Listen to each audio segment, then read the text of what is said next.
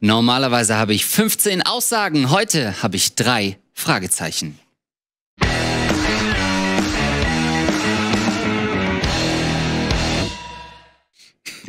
und zusätzlich 15 Aussagen. Herzlich willkommen zu Endgegner mit einer brandneuen Folge und heute geht es um das Hörspiel-Franchise schlechthin nach TKKG.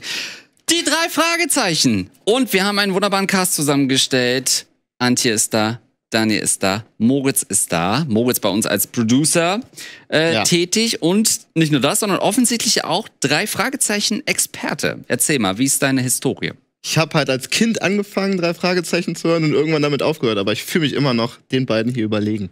Fühlt sich immer noch wie ein Kind, dachte ich, kommt jetzt. Antje äh, Schröck, wie sieht's bei euch aus? Habt ihr es früher geguckt? Hört ihr das immer noch? Geguckt? Äh, gehört. Ich habe es früher tatsächlich sehr exzessiv gehört als kleiner Junge zum Einschlafen. Es ging eigentlich keinen Abend ohne drei Fragezeichen. Und ja, ich habe auch TKKG gehört, aber drei Fragezeichen war immer mein, mein Favorite, beziehungsweise meine bevorzugte Serie. Und ja, ich habe halt irgendwann altersbedingt dann natürlich aufgehört.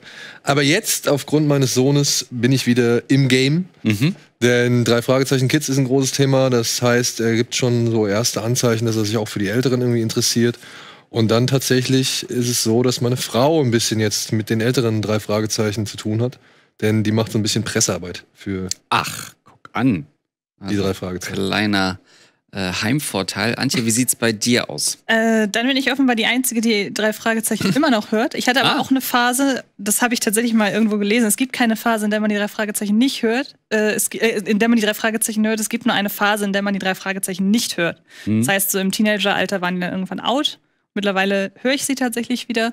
Ähm, ich glaube auch, dass Daniel und ich ein ganz gutes Team sind, weil wir schon vor der Sendung besprochen haben, dass er so eher bei den älteren Folgen dabei ist mhm. und ich dann eher so bei den neueren angefangen habe. Und ich meine, dann haben wir alles abgedeckt eigentlich. Also ja, wird es kein Problem geben, glaube ich. Wenn wir ja, sehen, doch mein Gedächtnis ist es halt.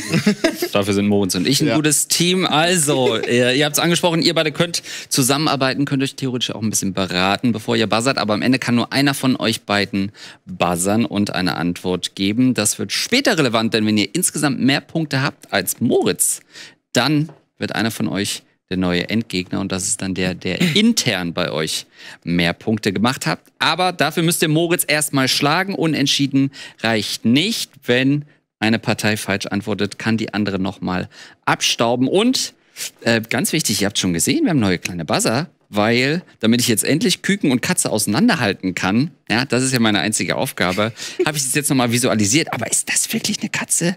Schwierig. Ist für mich auch ein bisschen Hühnchen. Also es könnte sein, dass es weiterhin zu Verwirrungen kommt. Ich muss es akustisch irgendwie einordnen. Ich würde sagen, wir fangen an mit der allerersten Aussage. Wie immer geht es, die Aussage zu korrigieren. Ein Fehler ist drin, den müsst ihr nicht nur erkennen, sondern eben auch richtigstellen. Es ist aber auch nur ein Fehler drin und hört mir zunächst zu, denn die Frage wird erst eingeblendet, nachdem ich sie einmal vorgelesen habe. Ready? Dann legen wir los. Aussage Nummer 1. Justus hat bei einem Preisausschreiben einen Rolls-Royce mit dem Kennzeichen RR 2930 auf Lebenszeit gewonnen. Frage ist jetzt eingeblendet. Justus hat bei einem Preisausschreiben einen Rolls. Das Hühnchen, das ist Antje. er hat nicht den Rolls-Royce gewonnen, sondern er hat einen, den Chauffeur, also den, die Chauffeurdienste dieses Rolls-Royce gewonnen. Das ist nicht der gesuchte Fehler. Moritz hat noch die Chance abzustauben. Ähm, nee, also wahrscheinlich ist das Kennzeichen falsch, aber ich könnte mir jetzt nicht sagen, welches Kennzeichen das richtige ist. Also, der Fehler war versteckt. Er hat ihn nicht auf Lebenszeit, sondern für 30 Tage gewonnen. Hm. Das ist also der Fehler gewesen. 30 Tage? 30 Tage. Dafür fahren die aber sehr oft mit dem Ding rum. Ja. Also zumindest zu Anfangszeiten fahren eine die Blockproduktion, dass ah. sie die ein paar Fälle schnell gelöst haben innerhalb eines Monats. Jeden also, Tag ein jeden neuer Tag. Fall. Ja, wir haben das Auto, wir müssen fahren. ähm, ja, wo könnte man noch hin? Gut, also ähm, ein Minuspunkt, aber das heißt natürlich noch gar nichts hier.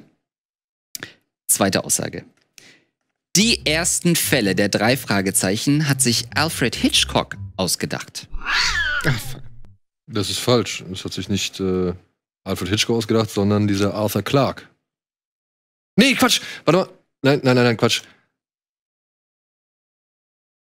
Leider falsch. Ja, Fünf Sekunden sind Arthur abgelaufen. Clarke, ich bin so dumm. Der heißt nicht. Albert Hitfield? Nein, nein, nein, nein, nein, nein. Moritz könnte abstauben. Ähm, Wir lösen es gleich auf. Der. Mh. Warte. Der heißt Robert. Möchtest du, dann musst du Achso, buzzern warte, erst. ähm, Möchtest du buzzern? Fünf, vier, drei, zwei, ach komm, der heißt Robert Andrews oder sowas? Auch falsch. Scheiße. Beide mit einem Minuspunkt. Robert Arthur. Arthur. Ach, Das war mein Ding. Der heißt Robert Arthur und ich hab oh, Andrew Arthur, Arthur Clarke, keine Ahnung warum. Ey. Weil das ist der Typ von, von 2001, glaube ich. Ach, scheiße, ey. Zusammen hättet ihr es hinbekommen. Zu dritt. Weil- so. Denn Bob Andrews Ja. ist nach ihm, sag ich mal, also man sagt immer, dass Bob Andrews ihm am meisten entspräche, weil sie halt auch dieselben Initialien dann als Anfangsbuchstaben haben. Ja.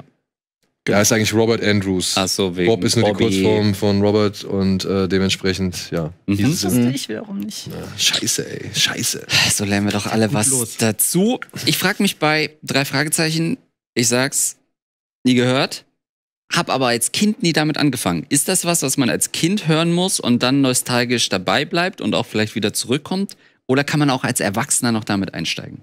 Hm. Ich glaube, die Nostal Nostalgie macht schon viel aus. Ja, ich. glaube ich auch. Ich glaub Also, ich auch. also du kannst als kleiner sehr Ju- vorhersehbar. Du kannst als kleiner Junge jetzt halt einsteigen, wie ich es dann bei meinem Sohn sehe, weil der findet halt geil. Das sind Privatdetektivfälle, die lösen irgendwelche Rätsel oder finden irgendwelche Schätze und so weiter. Es kommt ja nie zu Mord und Totschlag. Und das ist schon für kleine Kids, glaube ich, äh, einfach deutlich besser, um reinzukommen und dann dran zu bleiben, als um jetzt als Erwachsener einzusteigen. Weil es gibt auch noch ein paar echt peinliche Folgen. Muss man mal sagen. Und wenn man die als Erwachsener das erste Mal hört, dann denkt man sich auch, ey, Alter, wie kann das jemand geil finden? Es gibt Ja. aber auch ein paar, die wirklich gruselig sind. Ja, das will ich gar nicht. Ja, Also das, das auch. Das dann auch. Ja. Frag euch gleich noch, was für peinliche Folgen. Da hole ich mir nochmal schönen O-Ton von dir. Aber wir schauen erstmal nochmal auf den Punktestand, weil ich super vergesslich bin. Und wir haben zwei Fragen gespielt. Da gab es jetzt jeweils noch einen Minuspunkt. nee. Deswegen minus eins, minus zwei. Aber noch nichts entschieden. Wir kommen zur dritten Aussage. Die Sprecher der deutschsprachigen Hörbücher heißen Jens Wawritschek, Oliver, in Klammern Peter, Peter Shaw, Oliver Vorweg, in Klammern Justus Jonas, Der heißt Oliver Rohrbeck. Komplett richtige Antwort, Oliver Rohrbeck an, äh, in der Rolle von Justus, Jonas und Andreas. Fröhlich wäre es noch gewesen als Bob Andrews. Punkt für Herrn Schröckert. Peinliche Folge. Was ist eine der peinlichsten Folgen? Die auf dem, wo sie ins All reisen. Warum? Weil, Weil sie ins All weil sie reisen. ins All reisen. Alter. Das ist so, das ist so Quatsch. Also wirklich, ich meine, man muss ja schon mal schlucken, dass Rocky Beach der gefährlichste Ort auf dieser Welt ist.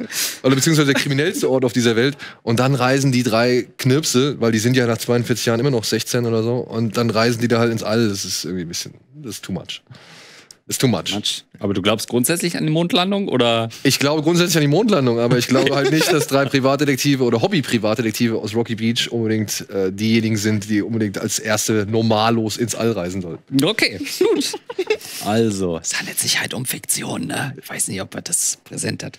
Gut, drei Fragen gespielt. Richtige Antwort von Herrn Schröcker. Deswegen sind wir zurück auf null Punkte. Habe ich das richtig im Kopf? Nein, auf minus Nee, eins und minus eins. Also Gleichstand, gleich gezogen. Vierte Aussage. In den deutschen Hörspielen kommen die Helfer auf dem Schrottplatz aus Irland in der amerikanischen Der Schrottplatz ist in Amerika. Rocky Beach.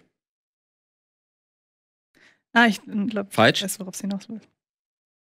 Frage ist eingeblendet. Antje und Schröck können noch abstauben. Ach so, die Helfer, shit. Diese beiden Freunde. Ja, ich weiß, wie du meinst. Ja, ich weiß, wie du meinst. Okay. Äh, Möchtet ihr antworten? Ihr habt die Aber Chance es ist auch die abzustauben. Frage, Moment. Also eine Nee, deutsche. es ist gar nicht die Frage, es ist völlig egal, wie die heißen. in der amerikanischen Originalserie kommen sie aus Genau. der Aber wo Provence. kommen die her? Möchtet ihr es probieren? Fünf. Ah, ah. nee. Willst du nicht vielleicht wissen, wie die heißen? Das wüssten wir jetzt. Frage ich euch gerne in Okay. dem Moment. Damit ist aber die Frage geschlossen. Schade. Wie hießen Nee. die denn? Äh, Patrick und Kenneth. Völlig richtig, damit der Punkt. Du weißt das überhaupt nicht. Ich habe keine Ahnung. Aber äh, wir haben gefragt, äh, in der amerikanischen Originalserie kommen sie aus Bayern und nicht aus der Provence. Hans und Okay. Konrad Schmidt Hans und Konrad Schmidt. Schmidt. Ja, okay, es ist klar, dass sowas dann wieder in Deutschland geändert wird. Minuspunkt für Moritz. Minus zwei, minus eins. Damit geht ihr in Führung. Habt ihr super gemacht. Fünfte Aussage. Bobs Vater heißt mit vollem Namen John William Melvin Roger Andrews und arbeitet bei der Washington Post. Ey, jetzt, also, Vielleicht eine andere Zeitung. Ey, Schreck, Ist das ich kann's nicht deutsch. Also, Bobs Vater heißt mit vollem Namen John William Melvin Roger Andrews und arbeitet bei der Washington Glaubst du, das Post. ist echt der Name? Okay. Dann ist eine falsche Seite. ey, also, Moritz? Bei dir aus? Traust du dich? ich trau mich nicht. Ähm, Versuche Herrn Schröckerts Emotionen gerade zu deuten. Zwischen kommt, ich dachte gerade, du gehst aus dem Studio, jetzt überlegst du zu antworten.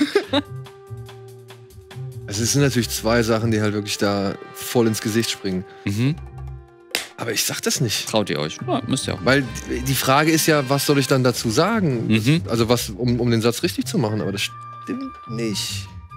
äh, Okay, also warte, keine, der arbeitet nicht bei der Washington Post. Äh, weil die wo arbeiten, die sind ja in Kalifornien, der arbeitet äh, äh, bei der bitte. LA Times.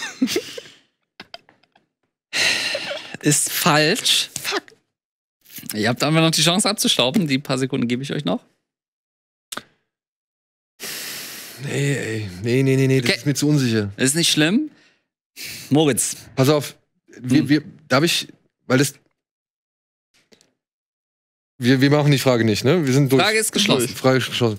Das Ding ist, ich habe gestern noch gelesen, dass der gar keinen Vornamen hat. Also es gibt keine Ah. richtigen Vornamen für den Vater von Bob. Aber was soll ich da jetzt sagen? Das- Weil, also da stehen ja vier Namen. Soll ich jetzt sagen, der Bobs Vater hat keinen Vornamen und arbeitet bei der Washington Post? Wäre das richtig gewesen? Nein, denn er arbeitet bei der Los Angeles Post. Ach, fuck. Das heißt, die LA Times war knapp Scheiße. vorbei. Du hast zumindest die richtige Schlussfolgerung Ja. äh, gezogen, dass wir in Kalifornien unterwegs sind. Mit dem Vornamen, das können wir an der Stelle jetzt nicht klären, es sei denn, die Regie ist blitzschnell. Aber der Fehler, den wir bewusst versteckt LA. haben, war in der Tat, und? Antje hat es auch ein bisschen geahnt. Aber Gott sei Dank die das die, Zeitung. ich habe die falsche Zeitung. Die Zeitung, ja, aber ich bin da, ich bin da auf irgendwas Rocky Beach Gazette oder so gibt's, glaube ich, da. äh, Und- es gibt die Rocky Beach Today, aber Today, genau. die ist Ja. zu klein für den Vater von ja, Bob. aber das wäre jetzt die einzige Zeitung gewesen, die ich jetzt hätte Ja, irgendwie ja. sagen können, die ich noch nicht mal richtig gewusst hätte. Aber wie gesagt, mich irritiert halt einfach die Aussage, oder hat die Aussage irritiert, dass der halt Vornamen hat, weil ich halt gestern noch gelesen habe, dass der keinen richtigen Vornamen hat. Ob mit oder ohne Vornamen. Zumindest wäre er bei der LA Post gewesen. LA Super Post. knapp, Moritz, aber Ja. leider können wir das nicht gelten lassen. Wir atmen aber ganz kurz durch, sortieren die Punkte und dann geht's hier weiter nach einem Spot.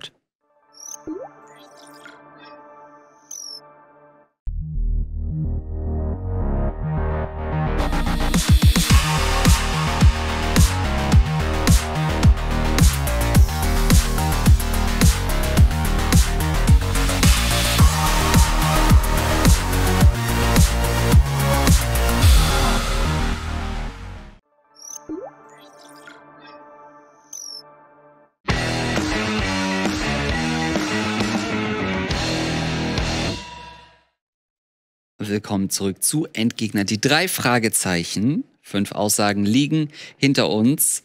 Aussage Nummer sechs steht vor uns. Wir gucken auf den Punktestand. Genau den sehen wir.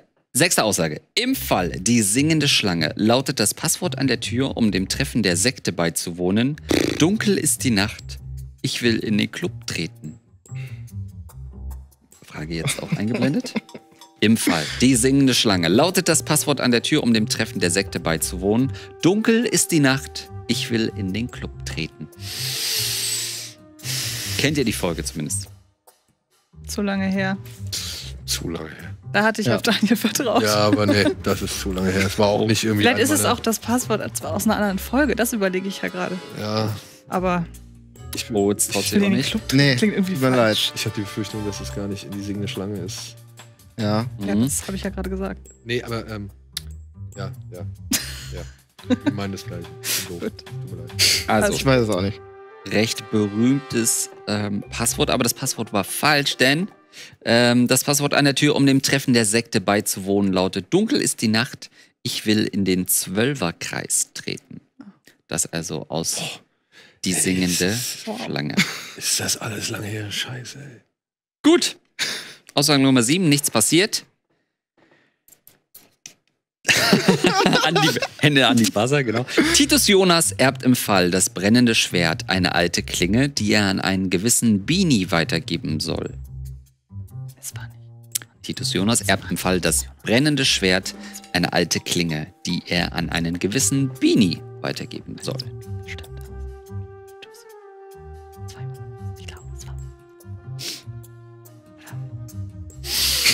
Moritz kann sich leider nicht beraten.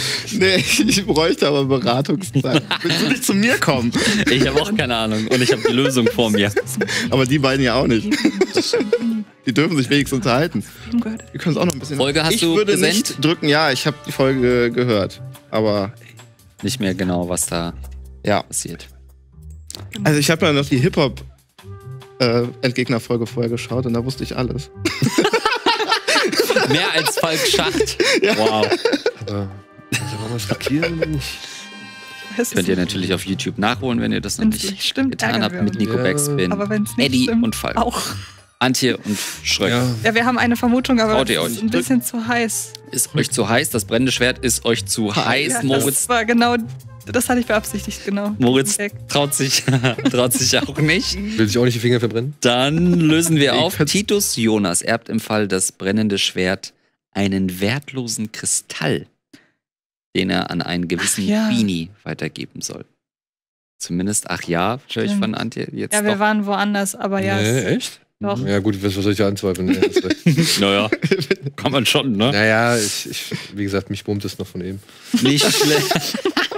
Nicht schlimm, kein, äh, keine Änderung, minus drei, minus eins. Wir machen direkt weiter. Oh Mann, das ist eine Versagerrunde, ey. Ja, voll. es bleibt Also auf jeden wenigstens die Null sollten wir irgendwie Ja. hinkriegen. Die Null muss stehen. Es bleibt zumindest heiß, denn Aussage Nummer 8. In die feurige Flut wollen die drei Fragezeichen mit Schulkollegen einen Horrorfilm drehen.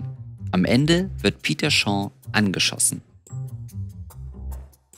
In die feurige Flut wollen die drei Fragezeichen mit Schulkollegen einen Horrorfilm drehen.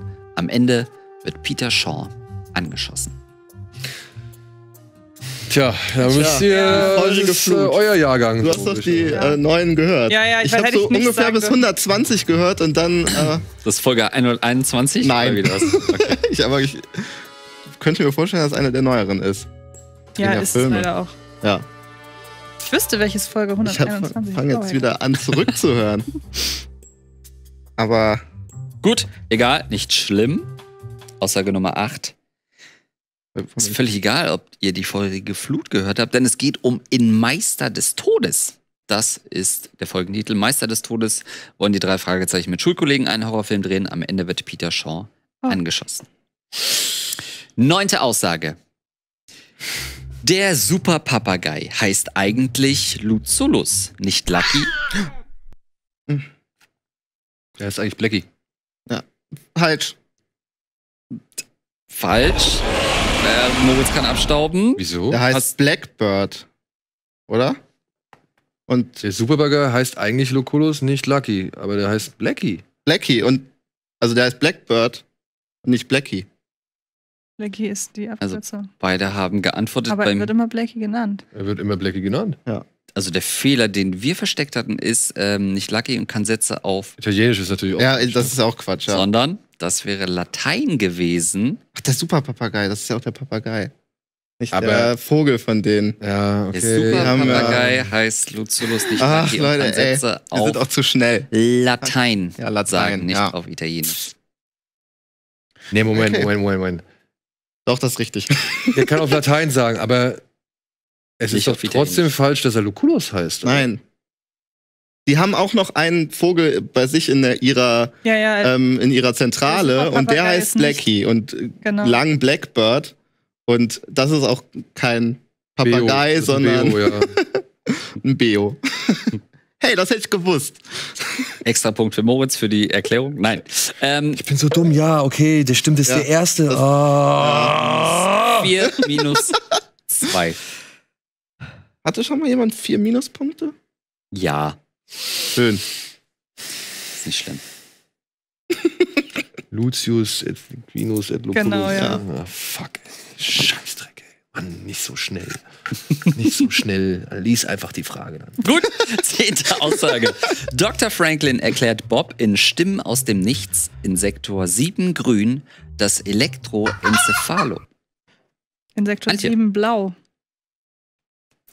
Sektor 7 blau. Komplett richtige Antwort von Antje. Genauso ist das Sektor 7 blau. Ist die, Die ist so Antwort. unheimlich, die Ja, Folge. das ist eine meiner Die habe ich Lieblingsfolgen. nie, also da brauchte ich sehr, sehr lange, um die zweite Seite zu hören.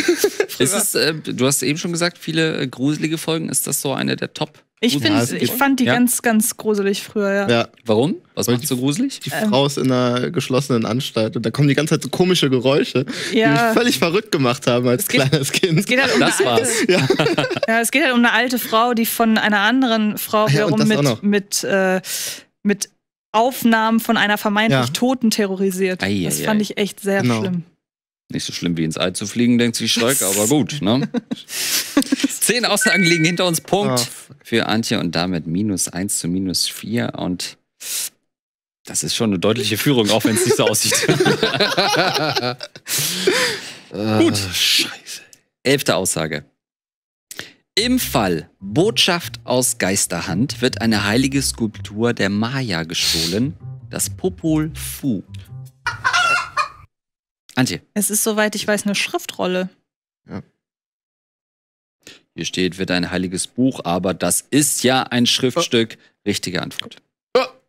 Richtige Antwort von Die Antje. LA Wollte schon- Post ist auch ein Schriftstück, genauso wie die LA Times. Ja, kannst aber auch nicht die Bild mit äh, einem unseriösen Werk vergleichen. Gut, also Punkt für Antje und wir brauchen dringend richtige Antworten hier in dieser Folge. Dementsprechend gilt jetzt alles. So, Okay. nein. Kriegst So. von mir alles. Zwölfte Aussage. Tarzan, Karl und Klößchen. Nächste Frage. Im Fall im Bann des Voodoo leihen die Fantastischen Vier.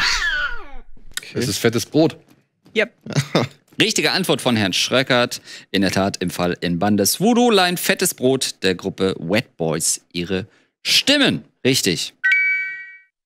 Und die viele so Stargäste? Zweimal kommt Folgen? fettes Brot auf. Zweimal fettes Brot. Axel Milberg ist jetzt der Tatortkommissar, ist Mhm. jetzt der Sprecher. Bastian Pastewka. Bastian Pastewka war mit dabei. Der äußert sich auch immer als Riesenfan. Ne? Ich meine, Thomas Fritsch kann man jetzt auch schon sagen, auch weil er der die Seele. Die genau. Hälfte der Sprecher sind super erfolgreich. Ich meine, die, die Schwester von Andreas Fröhlich, Hm? die spricht auch ab und zu mit. Ähm, wie heißt die? Queenie, glaube ich? Nee, Queenie ist ihr Hund. Äh, Wie heißt sie? Ah. Ähm, egal, die spielt da so eine Reporterin.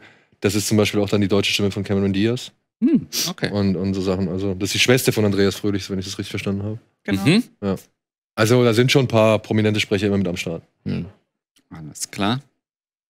Und wir gucken nochmal auf den Punktestand. Da hat sich jetzt wieder was Jetzt können wir getan. uns auch gut Schröck hat angucken. geantwortet. Wir sind im positiven Bereich. Ja.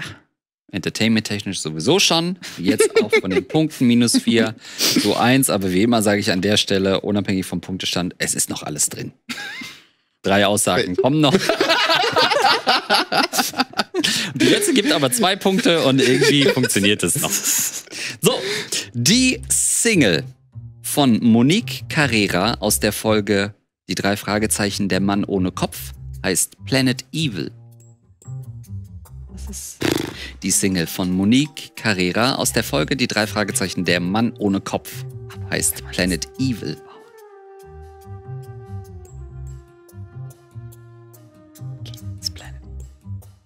Da wird ein bisschen getuschelt.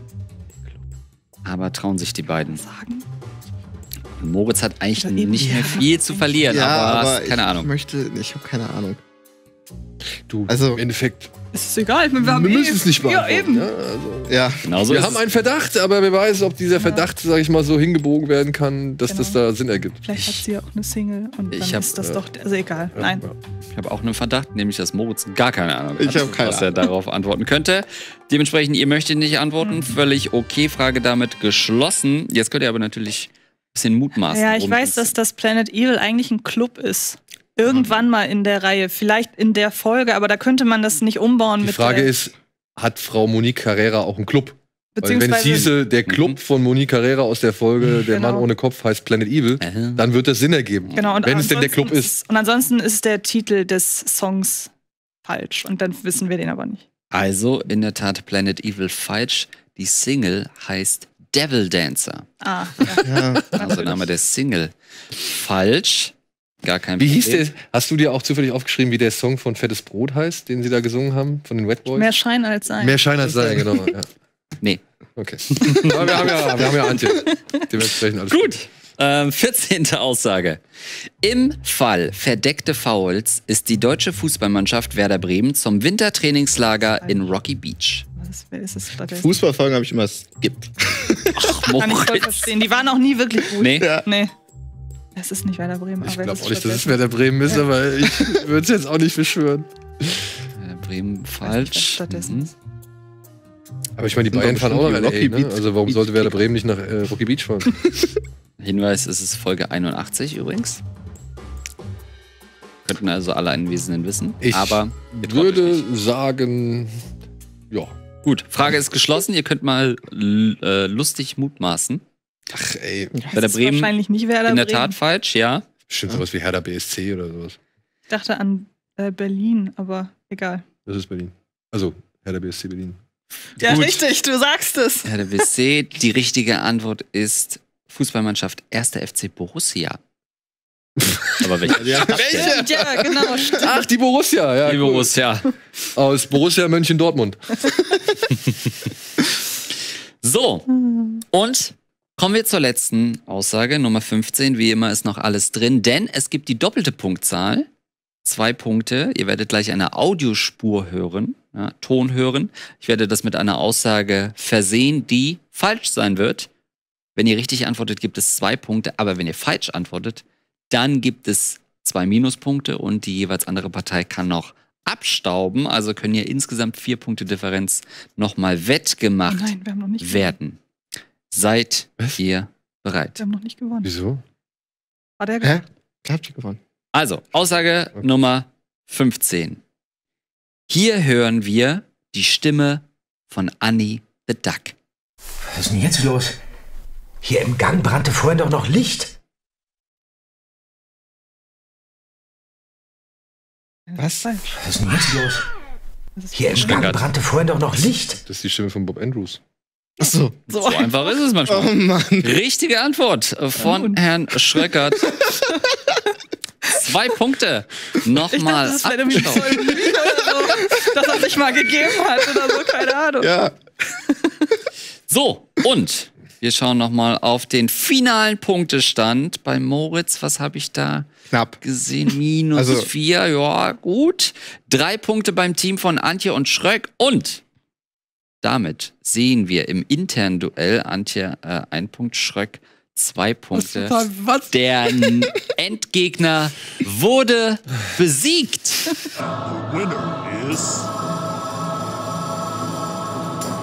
Um das nochmal kurz aufzuklären, wir schauen nochmal in das Video rein, um es zu verifizieren.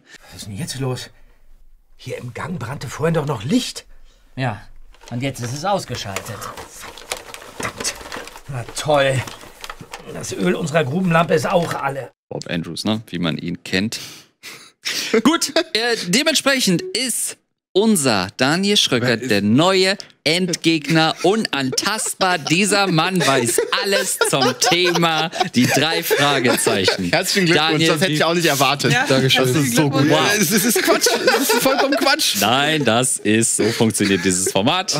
Völlig zu Recht. Du hast da nochmal abgestaubt, kanntest sogar Bob Andrews. Verdient.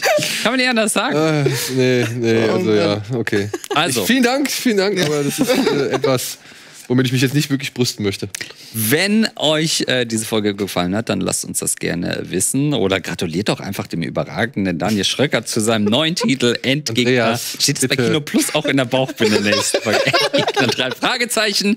Ähm, danke an Antje, danke an Moritz. Ähm, lasst gerne einen Kommentar da. Sagt, was eure Lieblingsfolge vielleicht ist von die drei Fragezeichen. Ähm, und dann sehen wir uns das nächste Mal wieder. Dankeschön. Ciao.